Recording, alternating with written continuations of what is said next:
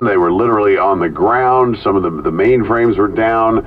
The uh, bosses. Or whatever tomorrow morning uh, Okay, good point. So you, if you need power for your generator, you need to get some gas. Go up to Kelly's Gas in uh, in Yountville, and they are pumping gas right now. They so I'm guessing is the town of Yountville have power? What was that?